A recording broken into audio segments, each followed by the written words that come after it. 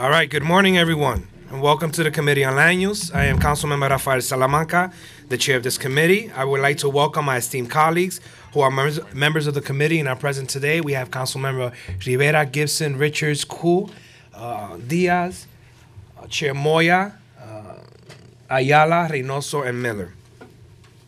I want to thank uh, Chair Moya and Chair Adams for their work on our two subcommittees. Today, we will vote to approve LU 618 through 622, five individual landmarks designations in Speaker Johnson's district. There are five historic row houses located at 47, 49, 51, 53, and 55 West 28th Street in the former Tin Pan Alley neighborhood of Manhattan. We will vote to approve LU 616, an application submitted by the Department of Housing and Preservation and Development to facilitate the disposition and renovation of one city-owned six-story building located at 272 East 7th Street in Manhattan in Councilmember Rivera's district. The application requests the approval of an urban development action area project pursuant to Article 16 of the General Municipal Law and an exemption from real property tax pursuant to Article 11 of the Private Housing Finance Law.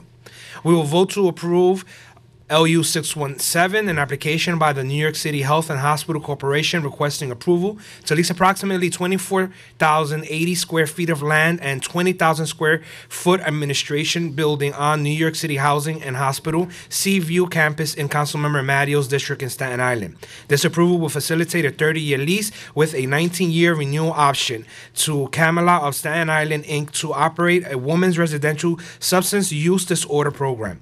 We will vote to approve LU 623, an application for the rescission of the landmark designation of the former PS 31 building located at 425 Grand Concourse in the Bronx in my district. The building, the building was demolished in 2013 pursuant to an emergency declaration by the Department of Buildings because of structural problems and damages caused by Hurricane Sandy. The rescission will facilitate the construction of a new mixed use development. We will also vote to approve LU 640 related to the Cooper Square MHA Phase 1 for property in districts of council members Chin and Rivera in Manhattan. This application submitted by the Department of Housing Preservation and Development pursuant to Article 11 of the Private Housing Finance Law requests approval approval of an amendment to Council Resolution Number 819 approved on March 28, 2019 to also exempt the community facility space in the exemption area. From our zoning subcommittees, we will vote to approve LU 630 for the 8118 13th Avenue rezoning proposal. The proposed zoning map amendment will facilitate the, le- the legalization of office use at the site by establishing a C1-3 commercial overlay in a R5B district in the Dyker Heights neighborhood of Brooklyn in Councilmember Brannan's district. We will vote to approve with modifications LU 627 for 271 Seabreeze Avenue in Councilmember Deutsch district. The application sought approval for a zoning map amendment to establish a C2-4 overlay district within R6 district in the West Brighton neighborhood of Brooklyn to allow for commercial use in a new mixed-use development. Our modification will reduce the area of the proposed overlay district to better reflect the portions of the zoning area appropriate for commercial zoning.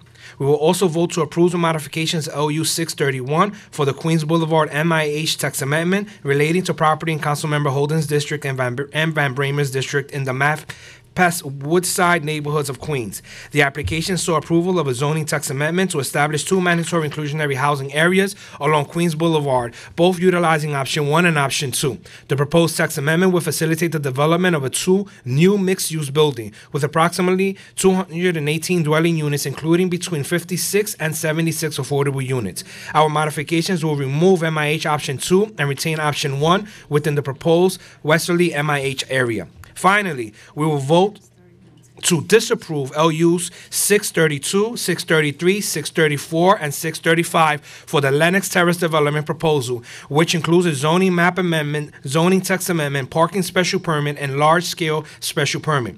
The scale of the proposed project, an effective doubling of the square footage, and 75% increase in height of the existing Lenox Terrace building is inappropriate for its surrounding context, particularly the low to mid-rise residential buildings directly to the west and south. In addition, the proposed project would introduce over 1,600 additional dwelling units and generate unmitigated impacts in the area of shadows, open space, construction noise, historic resources, and for pedestrians. The environmental impact study and the environmental impact statement provided no information about a smaller discretionary project with fewer impacts because, according to the FEIS, such a project would not align with the applicant's goals. Instead of a project that, as Manhattan Borough President Gale Brewer said in her remarks of February 12th, includes a long term commitment to housing affordability, greater investment in infrastructure, open space, and schools, the project before us fails to provide the robust infrastructure needed and deserved by this community. It includes no mechanisms to protect residents from temporary burdens such as construction noise or longer term increases in rent. Here, HPD was willing to partner with the applicant for an Article 11 tax exemption for the existing buildings to remain, which would have capped rent increases for a period of 40 years. Instead, in contrast with some other proposals, an application for an Article 11 tax exemption has not been submitted to the council during the ULURP process, even though conversations with the applicants about the importance of having a, preserva- a preservation strategy in place through a tax exemption and regulatory agreement were held as early as July of last year. We heard clear and consistent feedback from residents, neighbors, and community organizations echoing many of these very same issues and stating their opposition on the basis of inappropriate height and density, lack of affordability, unmi- unmitigated environmental impacts, and the applicant's poor maintenance of the existing buildings, yet all of these remain unresolved today. Additional, Stakeholders who identified many of these same points included the LT Act, Tenant Association, Community Board 10, the Borough President, the Public Advocate, State Senator Brian Benjamin, Assembly Member Al Taylor, Assembly Member Inez Dickens. Projects like this one must include resources proportional to the densities proposed in order to help create equitable, in order to create equality in the city that it inspires to be. Now, are there any questions or remarks from members of the committee? Yes. Uh, Councilmember Diaz. Tome. Tome. Mr. Chairman,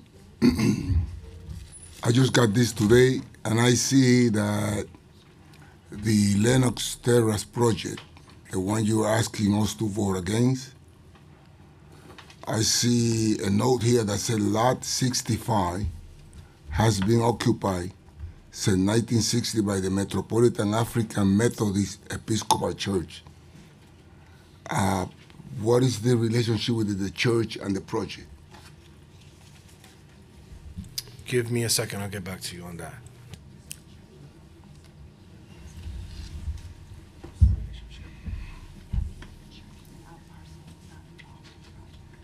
So I just been informed that the church is an out parcel and is not involved in the project.